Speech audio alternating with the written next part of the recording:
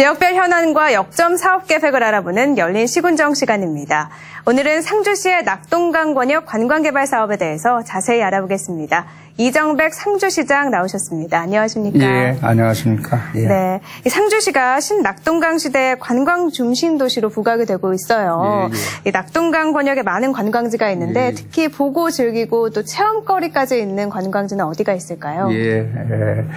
이 낙동강 1300리 물길 중에 제1경인 이 경천대 주변에 박물관 또 성마장 자전거 박물관 낙동강 생물자원 관광 인프라가 구축이 되어 있습니다. 아, 특히 근래 이 상주보와 낙담보 사이의 수상 레저 센터에는 이 카누와 카약을 직접 체험하고 즐길 수 있고 특히 이 성마장과 자전거 박물관에서는 성마와 자전거를 우리 어린이들이 직접 체험할 수 있고 낙동강 생물 자원관에는 이 낙동강에서 서식하는 이 생물 표본들을 전시를 해놓기 때문에 남녀 노소 누구나가 즐길 수 있는 그런 우리 장소가 많이 있습니다.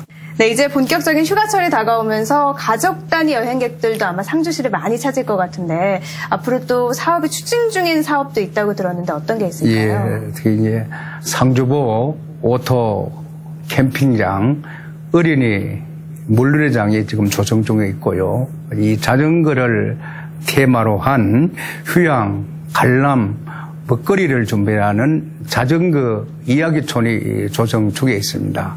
특히 이 경천섬에서 회상 나루까지 있는 345m의 보도 현수교가 설치 중에 있고 또 경천섬을 중심으로 해서 상주보에서 해상나루까지 에, 지금 둘레길을 조성을 해서 새로운 관광지로 조성을 하고 있습니다. 네, 상주시에 정말 다양한 관광 네. 인프라가 좀 네. 쌓이는 것 같은데요. 상주를 찾는 관광객에게 마지막으로 하시고 싶은 예. 말씀이 있을 것 같아요. 예, 우리 상주는 작년 12월 달에 영덕간 고속도로가 개통이 되고 일주일 뒤면은 영천간 고속도로가 개통이 됩니다. 사통 팔달의 교통 중심지로 전국 어디서나 2시간 이내에 접근이 가능합니다. 우리 상주시는 생태 문화 관광 도시로서 특히 역사가 살아 숨지고 레저 레포츠 시절이 풍부합니다. 그렇기 때문에 올 에, 여름의 휴가는 저희 상주에서 볼거리, 먹거리, 이, 즐길거리가 풍부한 저희 상주로 꼭 한번 놀러 오시기를 부탁을 드리겠습니다. 예.